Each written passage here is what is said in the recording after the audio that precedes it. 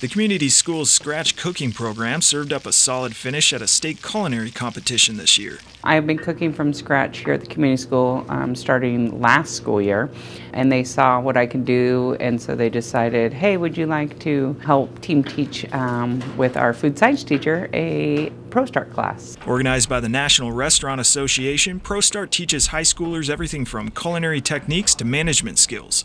Sellgren recruited students in October, and a team of five headed to the culminating competition in March. The months between were filled with practice, after school, on weekends, even during Christmas break. We started staying after every day of the week for like two to three hours, and we just were really supportive of each other. The community school was the only first year team among the 17 schools at the competition. We were just going in there to have fun to show them what it was all about. Um, and we placed fifth. So for a starter team to place fifth, it was very exciting for them. Teams are judged on product check-in, knife skills, and setup.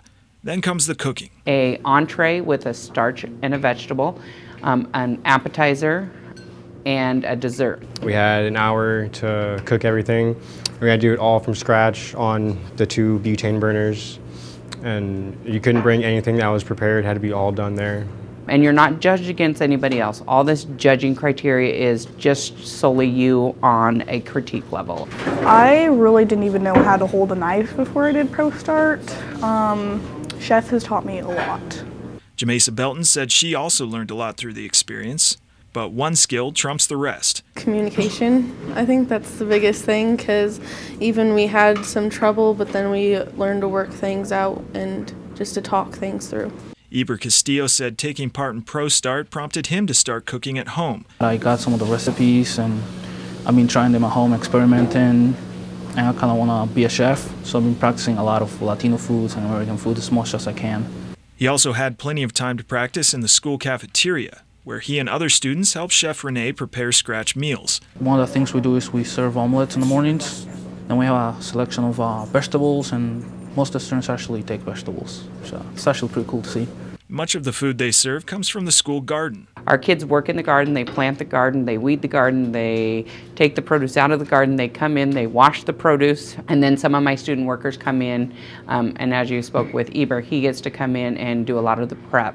While the garden doesn't feed everyone, it provides a tasty supplement to store-bought produce throughout much of the year. Um, but we start seeing a lot of it in September, um, and then we've also started drying our own herbs. So a lot of my herbs that I use in school lunch come right out of our garden. Sellgren says the notion of eating local is starting to take root throughout the district. Doug Wordell, our director, has been working with some local farmers of how we can get farm fresh produce in our schools. Like, can you grow this many butternut squash? Or um, yellow squash. So um, we're moving in the right direction. We're just a very big district, and when you have over 50 sites that you have to cook for that all have different equipment, but it's moving in that direction. Learn more at SpokaneSchools.org.